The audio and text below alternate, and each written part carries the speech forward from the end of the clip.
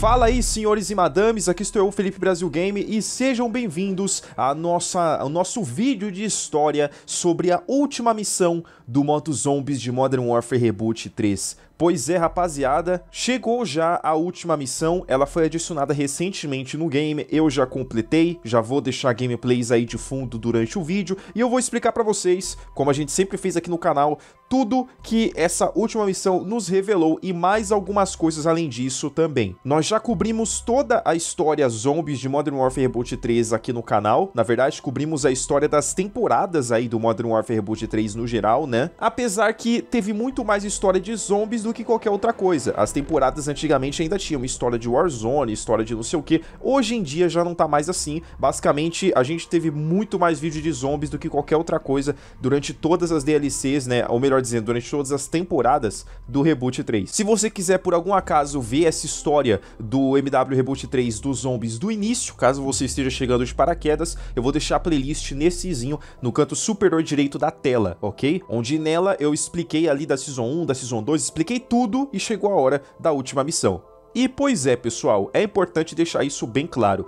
É possível que nós ainda tenhamos uma última temporada do Modern Warfare Reboot 3. Eu não acho que essa essa 5 Reloaded, né, que chegou recentemente, vai ser a última. Eu acho que nós vamos ter a sexta, imagino eu. Entretanto, apesar de ter ainda mais uma temporada pela frente, a própria Activision, a própria Treyarch, etc, já confirmaram essa missão que foi adicionada recentemente na Season 5 Reloaded, que é a missão da qual falaremos hoje, é a última missão de história desses zombies. Talvez na Season 6 eles podem adicionar algum áudiozinho, alguma intelzinha a mais para complementar a história, mas missão de história com cutscene em CGI e tudo mais, essa aqui é o grande finale, ok? Deixando já isso bem claro. Então, sem mais enrolações, vamos para a história.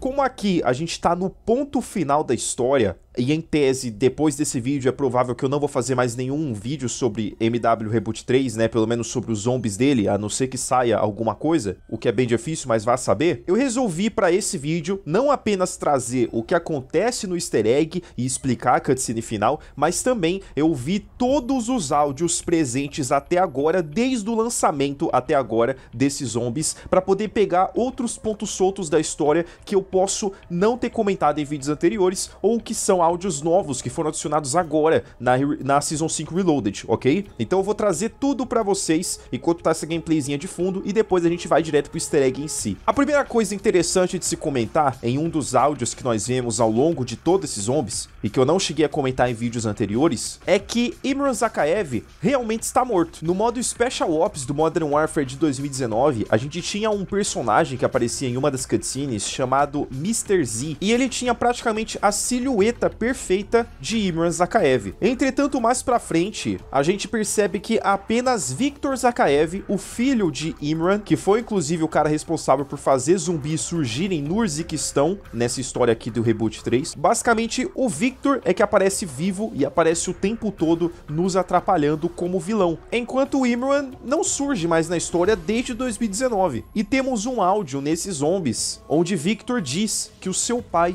morreu. Então, a não ser que o Imran esteja vivo e escondendo isso do próprio filho, Imran Zakaev realmente morreu nessa, nessa timeline, digamos assim, né, no Codiverso. Pelo menos até 2019 ele deveria estar vivo. Para mim ele estava vivo até agora e era só um personagem que não estava sendo explorado, mas não, parece que ele tá morto. Como isso aconteceu, não temos muitos detalhes. Os Modern Warfare Reboot deviam ter focado nisso, eu queria muito, mas eles simplesmente preferiram ignorar essa parte. Outra coisa que descobrimos também é que o papel de Soul Tavish dentro da Deadbolt, que é a, a, a, equipe responsável por enfrentar os zumbis na história, né, o, o Soap está conosco, basicamente era ficar de olho no Ravenov, já que ele era um personagem que tinha o passado todo secreto, confidencial, escondido. A gente sabe que ele é um personagem de Black Ops Cold War que enfrentou zumbis lá, mas os zumbis eles são segredo, segredo ultra secreto da CIA. Então, por uma questão de a gente não sabe se podemos confiar nesse cara ou não, o Soap foi recrutado para ficar de olho no Ravenov ao mesmo tempo que trabalha com ele. Outro detalhe que descobrimos também é que lembra que teve uma temporada em que o Fletcher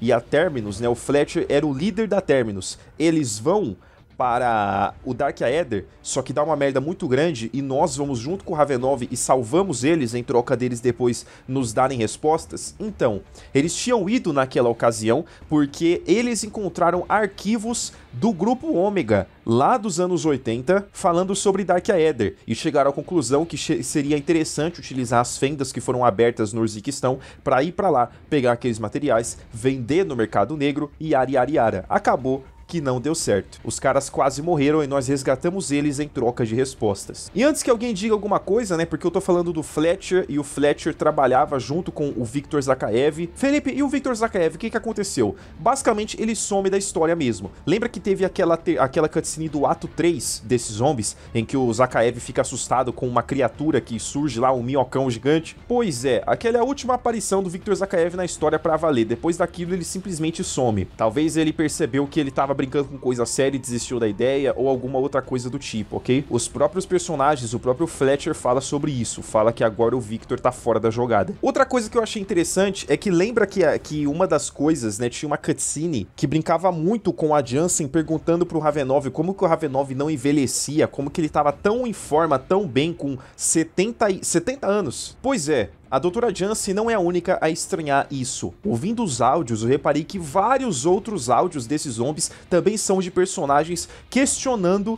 e tentando entender como que o Ravenov com 70 anos tem a forma física que ele tem. Ou seja, dando mais indícios de que tem alguma coisa aí. Talvez o Ravenov ele não envelheça, como é a teoria que eu comentei no canal há meses atrás, ou alguma outra coisa do tipo. Outra curiosidade é que a Marvel existe no Codiverso. Não é meme. My parents are immigrants and the USA all the way is kind of the family motto. So, you know, whatever. They named me America. America. America Fang. Oh, wait. That means you're Captain America. Shut up and eat your eggs. Para mais curiosidades inúteis, inscreva-se no canal. Agora, cara, eu vou mostrar uma parada para vocês que, assim, isso aqui foi cabuloso, beleza? Assim, você que joga Modern Warfare Reboot 3, no caso, você que joga os zombies, você deve saber que você controla ali um operador e tem vários personagens diferentes que ficam falando no seu ouvido. Personagens que, vamos combinar, vamos falar bem a real, são personagens que a gente nem se importa tanto. A gente tem Barreira, a gente tem é, Fang, é Fang o nome da mina? Dobbs. A gente tem vários personagens que cada um é de uma coisa, né? Tem um que é um cientista, tem uma que é a militar zona, tem uma que não sei o que. Tem vários personagens ali que são meio que aqueles NPCs da história que conversam com a gente, dão objetivos pra gente. Só que honestamente é bem inútil, assim. Pelo menos no Cold War eles tinham mais profundidade. No Reboot 3, assim, não teve praticamente nenhuma. Entretanto, teve uma personagem que agora na reta final, nos áudios, ela recebeu uma profundidade sim. Essa personagem é a Crystal Miller, esse é o nome dela, que é uma das nossas é, comandantes, digamos assim. Dependendo do que é que você faz nas partidas, ela surge te dando algumas ordens, alguns objetivos. E qual que é o lance? O lance é que, pasmem vocês, Miller estava em Liberty Falls em 1991. Na época, ela tinha 5 anos de idade. Liberty Falls, que é um dos mapas que vai chegar no lançamento de Call of Duty Black Ops 6, ou seja, já é uma dica, já é um teaserzinho do que é que nós podemos esperar daquele mapa. E sabe o que, que é mais surpreendente para mim? É que nessa Season 5 Reloaded, recentemente agora, vários áudios dela comentando sobre a Liberty Falls surgem, ok? E eu já já vou falar sobre eles para vocês. Só que o primeiro áudio dela,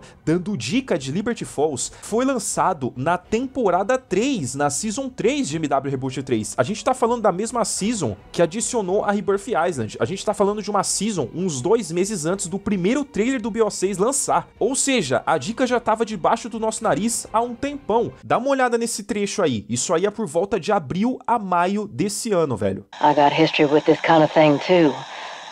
The place I grew up, it was a town by the name of Liberty. My God. You were there. But you would have been so young. How did you possibly... Hold up. You know about what happened? Every pencil neck I've ever spoken to said those files were sealed. A dica já tava bem na nossa frente, ninguém nem ligou. Olha que alegria. Mas enfim, a questão é que, como vocês viram nesse pequeno trecho, né, agora eu vou aprofundar melhor, a Miller, em um determinado momento, estava conversando com o Ravenov, foi daí de onde vem essa gravação desse áudio. Era uma conversa descompromissada, uma conversa ali de boa. Entretanto, ela comenta que aqueles zumbis é algo de certa forma semelhante para ela, porque ela estava em Liberty Falls. E quando Ravenov descobre isso, ele fica extremamente surpreso, fica até um pouco assustado. Ele até meio que é, fala para ela: pô, caramba, que, que pena que você tava no lugar que aconteceu uma desgraça tão grande, como se Liberty Falls foi o fim do mundo. Ele fica realmente, tipo, com pesar pelo que ela deve ter visto quando ela era criança. Ao ponto de que o Ravenov, apesar de ele ser um personagem que ele esconde o próprio passado por motivos óbvios, ele acaba até se abrindo um pouco com ela por questão de compaixão e fala para ela que ele já tem experiência com aquilo há um tempo, ele já vivenciou aquelas coisas antes, e se ela quiser conversar sobre ele, sobre isso,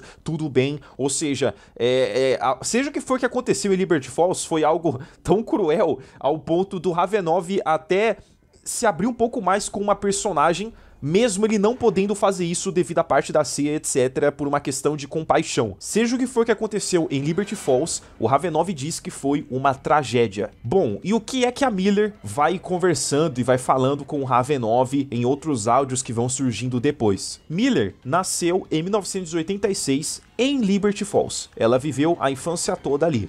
Em 1991, quando ela tinha 5 anos de idade, que é justamente no momento em que vai estar se passando o mapa Liberty Falls, ou seja, isso pra gente vai ser jogável, acontece um surto em Liberty Falls. Inclusive, na data que eu estou gravando esse vídeo, já saiu o, o, a intro, né, a cutscene de introdução do mapa Liberty Falls do Black Ops 6, que aparece até o Richthofen lá, e eu sei que vocês devem estar malucos para ver eu falando sobre essa intro, porque tem muita coisa para falar, mas isso eu vou deixar para outro vídeo que provavelmente vou postar amanhã, pessoal. Vamos focar no MW Reboot 3 agora, porque o objetivo desse vídeo é esse, ok? Naquela época, a Miller estava na primeira série, ela estava na escola, no dia em que a desgraça aconteceu. Ela diz que na hora do recreio, subitamente os professores, né, o pessoal da escola começou a liberar os alunos, tipo, ó oh, pessoal, aula suspensa. E ela era uma criança, ela não estava entendendo ali o que estava acontecendo, mas ela diz que quando ela foi ver os pais dela que estavam na rua esperando ela sair, né, assim como vários outros pais de outras crianças que estavam esperando também os seus filhos saírem da escola para provavelmente sair de lá, já estava o caos acontecendo. Só que ela era criança e ela ainda não tinha reparado isso exatamente, mas a gente vê pela maneira como ela conta os eventos. Ela diz que a mãe dela pegou ela pelo pulso, pegou ela pelo braço e começou a correr, ao ponto de que a Miller, como era uma criança, não conseguia correr no mesmo ritmo da mãe, mas a mãe continuava puxando a Miller assim, num pânico absurdo, arrastando a menina pelo chão mesmo, para sair de lá o mais rápido possível. Enquanto o pai dela, ele tava segurando um rifle e ele foi para outra direção. Ele foi inclusive para perto de um beco. Provavelmente ele devia estar tá mais com alguns alguns outros moradores ali tentando conter a ameaça que estava surgindo no local enquanto a mãe tentou sair dali com a filha. Entretanto, a Miller diz que ela ouviu o seu pai gritando depois que ele chegou perto daquele beco. Então, em determinado momento, talvez minutos depois, ela viu que o pai dela estava morto no chão. Inclusive, vamos guardar essa informação. Ela diz que o pai dela morreu perto de uma loja chamada Ollie's Comics. Então, eu não duvido que quando lançar o Black Ops 6 e você for jogar Liberty Falls, deve ter essa loja no mapa e é capaz que tenha algum corpo corpo ali no meio, que é corpo do cenário, e se for, é o pai da Miller. E foi só depois que ela viu o próprio pai morto que ela começou a olhar em volta e entender de fato o que é que estava acontecendo. Era um monte de gente gritando, fogo nos prédios e nas casas, um monte de criaturas andando pela cidade, provavelmente zumbis, mas a gente pode imaginar que deviam ter alguns monstros também. Era um caos completo. Alguns instantes depois, a mãe de Miller também acabou morrendo, e no caso, ela morreu na frente da própria filha, onde simplesmente surgiu um momento em que ela foi puxada por uma horda de zumbis e virou almoço. Basicamente foi isso na frente de uma criança. Coitada da menina. A Miller diz que ela conseguiu sobreviver porque ela se escondeu em um restaurante ali da cidade e nenhuma criatura encontrou ela. Porém, os humanos que chegaram na cidade depois só encontraram a Miller viva ali depois de três dias que ela ficou dentro daquele restaurante. Então ela, ainda criancinha, saiu de lá e teve que viver com seus tios. E foi essa experiência traumática que fez com que ela tivesse essa vontade de se tornar militar e tentar lutar contra esse tipo de coisa. E aí agora ela tá aqui com seus 35 anos em 2021 no Urziquistão,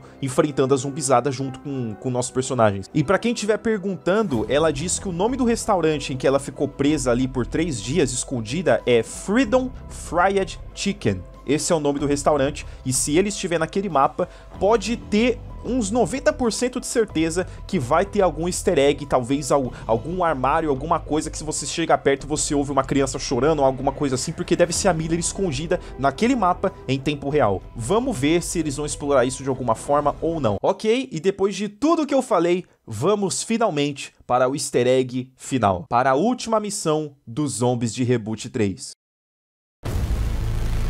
A equipe da Deadbolt, dessa vez não só os nossos operadores jogáveis, como também a própria Doutora Jansen, e o Ravenov vão todos juntos pro Dark Aether, dessa vez com a missão de derrotar a tal da entidade, que é uma contraparte da própria Jansen que está dentro do Dark Aether, como eu já expliquei em vídeos anteriores da história desses zombies aqui. A ideia é meio que dar um fim em tudo isso. Essa entidade já ameaçou eles várias vezes, já mexeu com a Jansen várias vezes e ela resolveu dessa vez, ao invés de tentar fazer tudo sozinha, pedir ajuda, se unir com toda a equipe e fazer um ataque coordenado contra essa entidade. E o interessante novamente é que o local onde eles estão no Dark Aether também é um pedaço de Almazra, novamente todo deturpado, todo maluco, um monte de objeto voando, uma loucura. Eles então confrontam a entidade que ela aparece numa forma espectral gigantesca e é interessante que durante essa missão, durante todos os passos que eles fizeram para conseguir chegar até a entidade, durante durante a batalha com a entidade e até após um, a batalha da, contra a entidade, ela dá a entender que existe alguém no Dark Aether que quer a Jansen.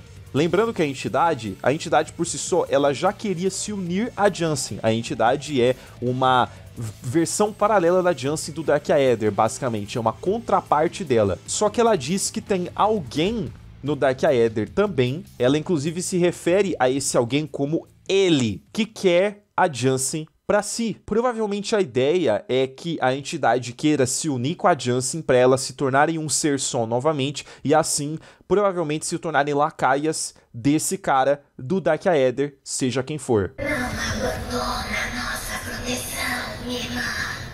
Tem outros seres aqui, poderosos antigos estão te vendo, não sentindo seu poder, desejam-me, irmãzinha. Ele está procurando você.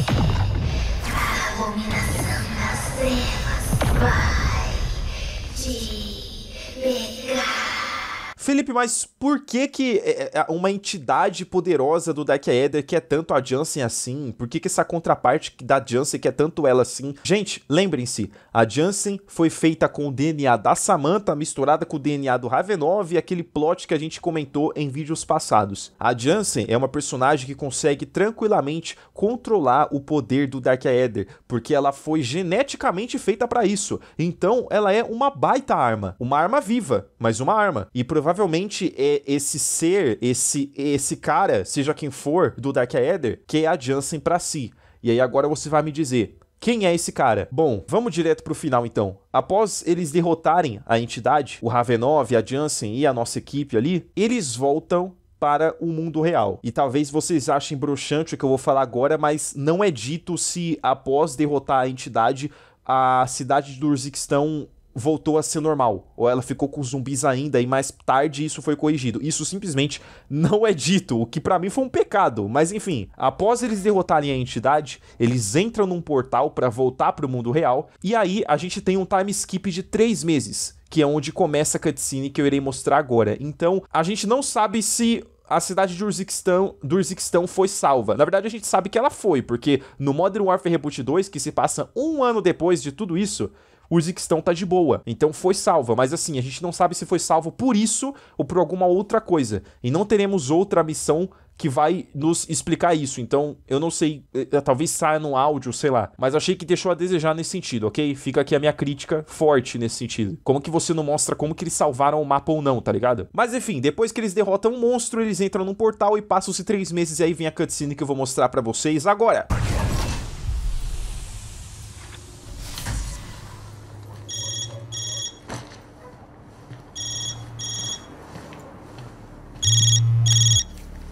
Ah, veio ver como tá sua filha? Eu, ah, eu queria só saber. Perguntar ah, como você tá. Ah, eu tenho me comportado. Eu juro. Aconteceu muita coisa. Demorou um pouco pra processar tudo. Processar tudo? Quem é você e o que você fez com o Ravenov?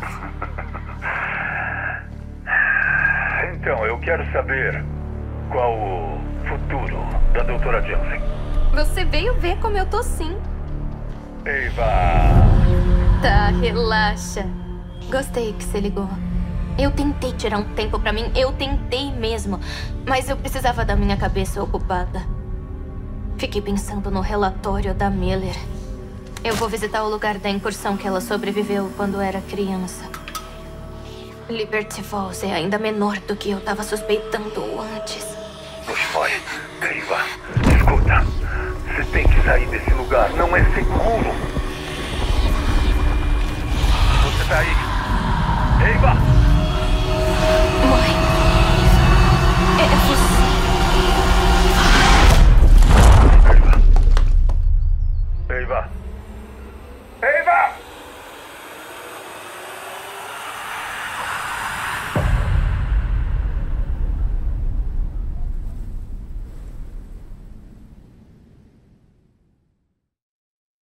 Ok, vamos por parte. Primeiramente, três meses depois daquela missão, ou seja, ainda estamos em 2021 ou já podemos estar em 2022, porque a gente não sabe se os eventos dos zombies de 2021, do Reboot 3, eles são no início do ano, no meio ou no fim. Então talvez ela pode estar no início de 2022, mas eu acho difícil. De qualquer forma, seja 2022 ou 2021, não muda tanto assim as coisas, mas vamos pro ponto fundamental aqui. Ela está em West Virginia, nos Estados Unidos. E pelo que vocês já viram após toda a cutscene, sim, ela está em Liberty Falls. Porém, lembrem-se, Liberty Falls lá no Black Ops 6 é um mapa que vai se passar em 91. Aqui ela está em 2021, ou seja, ela está na cidade 30 anos depois de tudo que aconteceu. O que já nos dá um spoiler de que a cidade, apesar de tudo, se manteve viva, né, vamos dizer assim. Se manteve de pé, apesar do caos que aconteceu em 91, seja lá o que for. E o interessante é que enquanto ela tá batendo papo com o Ravenov ali no telefone,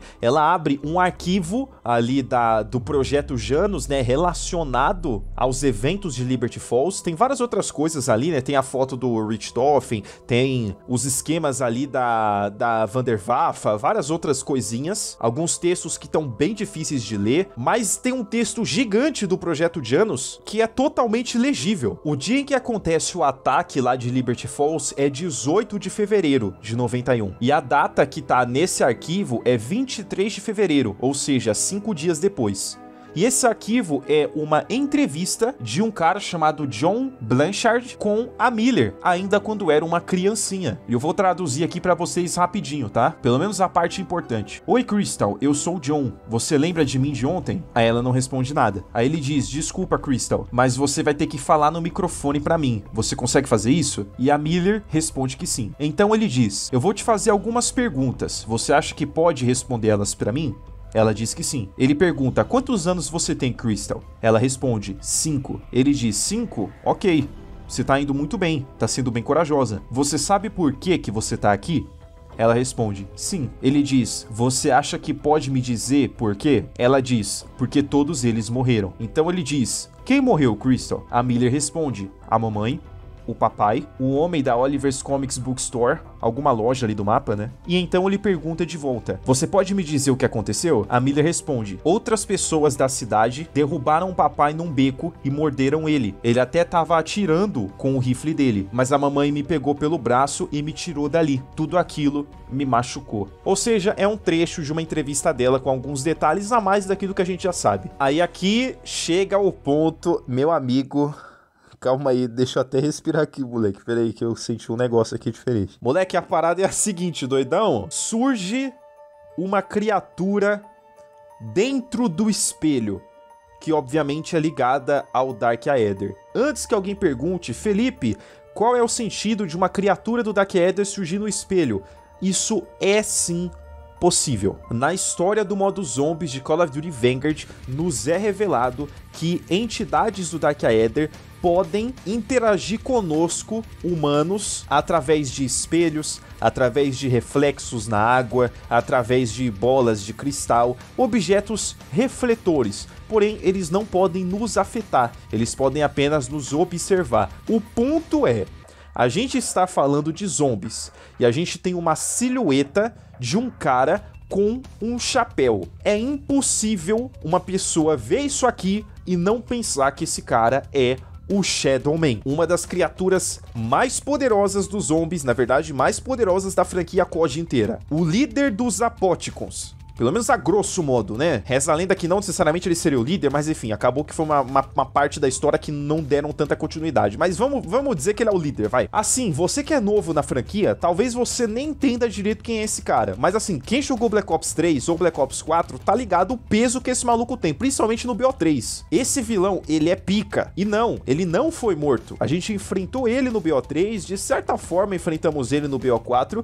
porém a gente apenas derrotou. A gente não matou ele, porque pra matar um bicho desse eu não sei nem se dá direito, o bicho é muito poderoso. Então, ele está no Dark Aether, assim como todos os personagens de todas as dimensões dos zombies, de todo o multiverso dos zombies, foram enviados para dentro do Dark Aether, ele também, logicamente, está trancado lá dentro. E levando em conta os diálogos que eu soltei antes, com a entidade que é a contraparte da, da Eva, né, da Jansen, dizendo que alguém queria a Jansen para si, é bem provável que o Shadow Man quer a Jansen, irmão para usar como arma ou alguma coisa assim. Vocês têm noção do potencial que esse plot tem se realmente foi isso? Talvez não seja o Shadow Man, ok, vamos lá, Zombies gosta muito de trollar também os próprios fãs. Ele gosta de brincar com isso, brincar com expectativa, às vezes na verdade não é o que a gente tá imaginando. Um monte de gente, por exemplo, teorizava que essa entidade contraparte da Jansen era a Samantha. No final nem era, era só uma contraparte da Jansen mesmo. Então pode ser uma quebra de expectativa também, uma brincadeira. Mas até segunda ordem, para mim esse cara é o Shadow Man, mano. Enquanto eles, eles disser não é, para mim é o Shadow Man, pô. Tá de brincadeira? Você tá de brincadeira comigo?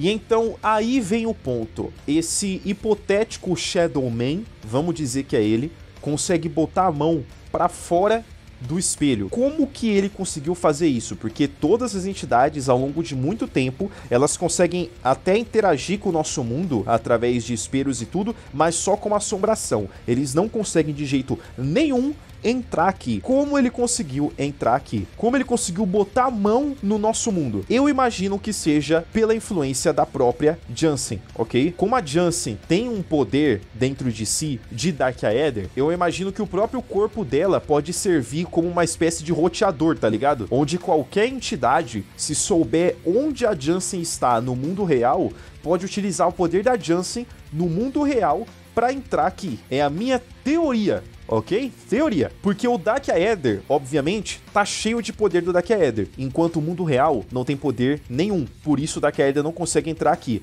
O Dark Aether só consegue entrar no nosso mundo, alguma coisa do Dark Aether só consegue invadir esse nosso plano se no nosso mundo já tiver alguma coisa com poder de Dark Aether. O portal tem que ser aberto de fora para dentro, de dentro para fora ele não abre, eles estão trancados lá. Então a Jansen pode servir como uma espécie de chave aqui do lado de fora. E tudo faz mais sentido porque o Shadow Man era o líder dos apóticos, ou seja, se tem um cara que deveria saber controlar a energia do Dark Aether com maestria, é ele. Então é como se ele estivesse controlando a energia do Dark Eder que tá no corpo da Jansen. Ela consegue, ele consegue fazer ela de marionete. Porque o cara é pica, pô. Pelo menos se for ele mesmo. Vamos acompanhar isso aí com calma. Aqui, na verdade, fica um ponto, né? Eu não sei dizer se ela tá sendo induzida a tocar nessa mão aí, ou ela realmente toca na mão pensando que é a Samantha, né? Porque ela pergunta, mãe, é você? Ela pode estar tá achando que é a Samantha que tá tentando fazer contato com ela. E aí, obviamente, ela ia querer salvar a própria mãe do Dark Eder. Então ela pode estar tá aí por vontade própria ou não. Eu acho que ela tá por vontade própria. Ela tá achando que é a Samantha e tá indo por vontade própria. Eu não acho tanto que ela tá sendo induzida pela energia do Dark Eder. Apesar que isso também é possível. Mas eu não acho tanto, não. E aqui, cara, novamente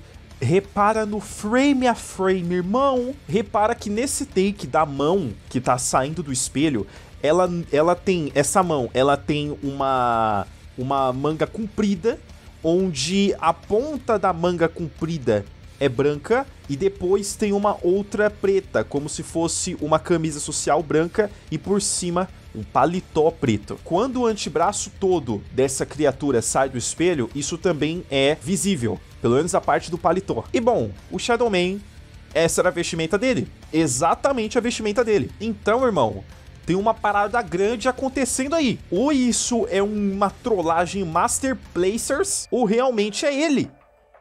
E isso, cara, na moral, você que não manja de zombies, isso é grandioso, tá? Isso aqui é coisa grande, irmão. A gente tá falando de coisa grande aqui. É um personagem pesado. É um peso pesado retornando na história que honestamente eu nem imaginei que seria possível. Só que aquilo, né? Eu acho que o único ponto negativo disso tudo é que ele tá pegando a Janssen em 2021. Então, talvez isso não vai ser algo que vai ser explorado lá nos anos 90, tá ligado? Quer dizer, na verdade, é possível que em Black Ops 6 nós tenhamos algum mapa zombies que se passe em 2021. Ué, Felipe, mas Black Ops 6 é um jogo de, de, de, de anos 90. Sim, mas o BO2 é um jogo futurista e ele tem mapa na Primeira Guerra Mundial. O Black Ops 1 é um jogo de Guerra Fria dos anos 60, mas ele tem literalmente um mapa na Lua que se passa na década de 2030 nos zombies. Então, assim, os zombies não têm a necessidade de se apegar à época em que o onde se passa o jogo que ele tá. Isso é algo assim muito claro. Então, ou isso vai ser explorado em algum mapa bem fora da cronologia nesse próximo Black Ops 6, o que já seria legal. Ou então a gente tem um ponto que talvez seja até meu pai aqui é, a gente vai ter que esperar um outro COD após Black Ops 6, provavelmente um COD mais de guerra moderna, pode ser um MW ou não, se passando após 2021 para poder ver o que é que vai acontecer com a Jansen, o que significaria que esse plot da Jansen e do Shadow Man vai ficar no gelo aí, vai ficar na geladeira por, sei lá, uns três anos. E aí haja paciência. Então, enfim, Vamos ver. Ah, Felipe, mas o e se o Shadow Man tivesse pegando a Jansen para levar ela pro passado, voltar no tempo e aparecer nos anos 90, não sei o que? Isso não é possível. Pelo menos até até segunda ordem, até a não ser que a Treyarch invente algum motivo, isso não é possível. Eu sei que você está acostumado a ter várias viagens no tempo em zombies, mas no caso do Dark Aether, isso não é possível. Dark Aether não possibilita viagem no tempo. O Aether possibilitava, o Dark Aether não. Inclusive o Aether talvez nem exista mais, porque todo o Aether foi pro Dark Aether. E quando o Aether vai pro Dark Aether, ele se torna Dark Aether. Eu estou falando há quase uma hora. Esse vídeo ficou muito mais longo do que eu imaginava, mas eu acho que foi um grande finale de respeito, não é mesmo? Deixa o like então, para poder ajudar o canal e, e, e, apoiar o vídeo aí, porque esse vídeo aqui imagino que vai dar um trabalhinho. Espero que vocês tenham gostado do vídeo. Se inscreve aí se não for inscrito, ative o sino para não perder outros vídeos. Eu devo estar tá postando esse vídeo segunda-feira. Amanhã, na terça-feira, eu posto um vídeo falando da intro de Liberty Falls, tá bom, pessoal? E não esquece, doidão, quarta-feira vai rolar o evento Code Next. O evento vai começar às uma hora da tarde. Vai ter gameplay de zombies, gameplay de, de, multiplayer, vai ter coisa de COD Mobile, de Warzone Mobile, de Warzone normal. E eu vou estar aqui ao vivo no canal ao meio-dia. A live já está agendada e está no canal, na, na, página principal ali. Já vai lá e marca o botãozinho de notificação. Estaremos ao vivo aqui para ver isso junto, beleza? Fica o aviso. Tamo junto? É nós. Cuidado pro Shadow Man não puxar teu pé à noite. E valeu, fui.